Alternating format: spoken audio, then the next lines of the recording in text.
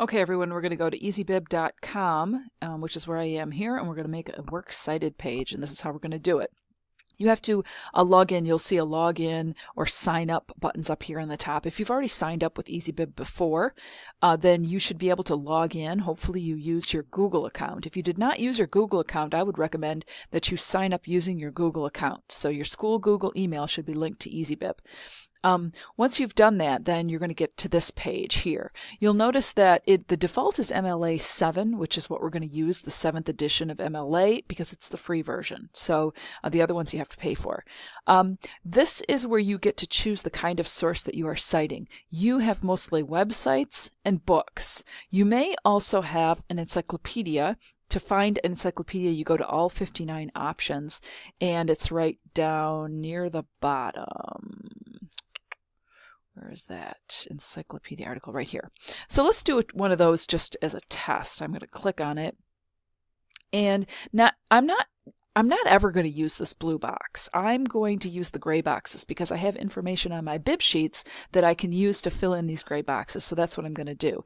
Um, the article title is going to be the thing that you looked up. So it might be, for example, airline pilot. It might be the title of the article. Um, if it's an encyclopedia, it probably did not have an author. So leave that blank. If you had a book here with an author, you would put their name here. And if you had two authors, you would say add another contributor and it would give you a second box. But we're not going to fill that in because we have an encyclopedia. Um, for here, we're going to write in career discovery encyclopedia um, because uh, that's one that many of us have known or have used. Um, is it well known? Um, I would say, uh, let's say it is, uh, and then we don't have to worry about anything else there. The publisher is going to be, um, I'm not sure who it is. I'm going to guess maybe it might, darn it, it might be um, Ferguson and it might be New York, um, and it might be, let's say, 2010. Um, I, am guessing on all of that, so don't use on any of those things. Uh, if you've used Career Discovery, you got to look it up. Um, pages, you're going to leave blank. We didn't add any of that. And once you've got it all filled in, you're going to get your citation. Um, oh, disable blocking the site. Uh, no, no, I don't want to do that. No, no, no. Create citation without disabling. That's what you have to do. All right, so there's all kinds of junk that pops up on this because it's we're using the free version. You have to just keep closing all that stuff out. So what you've got is your citation finished here. You have uh, also listed at the bottom. At the bottom here is where all of them are going to be listed together, and this one will be the last one that you made. Um, once you get to here, you can go ahead and make your next one. So you can uh, leave it on website, or you can choose book if you used a book. Uh, let's just say that we used a book. Then we're going to click Manage manual cite. All right, so if you choose one of these other things, then you have to choose manual cite. And what manual cite will do is it will give you these gray boxes to fit uh, to fill in, and of course you got to get get rid of that junk. Um, we're going to cite now. Here's where you have to think about what kind of book did you use? Did you use the whole book, or did you was it a reference book? If it was a reference book and you used maybe just a chapter of it that was just about your job, then you're going to choose a chapter or section. And here's where you put your authors again. Um, you can add a second author, like I showed you before. This is where your book title would be. Maybe it's um, Careers for Kids Who Like um, Science. And we probably are going to leave this blank. Uh, your publisher might be, um, I don't know, um, uh, Berkshire Publishing, and let's say it's in Chicago, and whoops, spell correctly, and then it's uh, let's say it's 2015. We're guessing. Um, I'm making this up again. So one of the things you'll notice is that when I'm filling these boxes in, I'm making sure that I capitalize correctly. So you need to do that, and then you're going to go ahead and create your citation. Uh, create citation without disabling.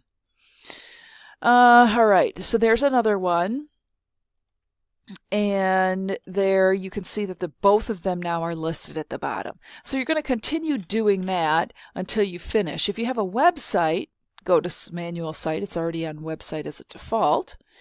And then you're going to put source type, content originally published on a website. Um, leave it just as that. uh, the article title is what you looked up. Might be um, pilots rule the skies is the name of whoops of the site that you used. Maybe it didn't have an author, or maybe it did. You put it in there. Um, the website title, that is the site where you got the information, might be, uh, let's say it's Career Cruising. Um, and you can leave the publisher sponsor out. You can put in the URL. You have that uh, pasted, so you can paste it in. Um, but you don't have to. Uh, actually, let's leave it out because it, the new MLA asks you not to put it in there. So, um, the date it was published is the the year or copyright date that you have on there. I think it just says 2016 on Career Cruising. I'm not sure though. The day you access access it though is important. That is the day that you found it. So it might be um, the 11th day of November in 2016 was the day you found that source. And then you're going to create it. Oh, and get rid of that junk. And there you have the latest one again. So then you can see that all of my sources are listed down here at the bottom.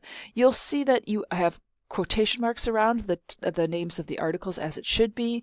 Uh, the titles of books are in italics as they should be. All of the punctuation is in the citation as it should be. So when it's done, when you're finished with all your sources, then you're ready to export it. So you go to export here and you go to save to Google Docs. And um, at Google Docs, it is going to um, give you this, you know, you have to link it to your Google Docs so that goes into your Google Drive. And once you do that, it's going to go ahead and throw that whole bibliography into your Google Drive. Um, you can say uh, uploaded successfully go to Google Docs. So I'm going to open it in now it's gone to Google Docs and opened it. Now you'll notice it's already cited um, or it, says works cited at the top correctly. So there's a title and everything is already in alphabetical order like it should be. So everything looks exactly as it should be except this is a separate document from my draft. So in order to um, make sure this is at the bottom of my career paper. I have to take all of this and I have to copy it, Control C, and then I have to go back to my career paper. I have to find my career paper in um, in my Google Drive, which is here somewhere. There it is, my sample career paper. And then I have to scroll down to the very bottom of this paper when it loads and I have to create a new page at the very, very bottom.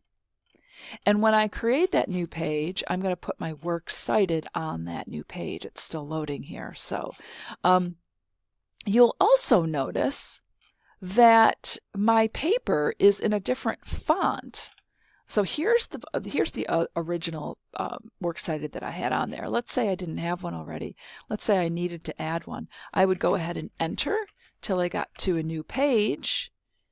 And come on it's not loading very fast.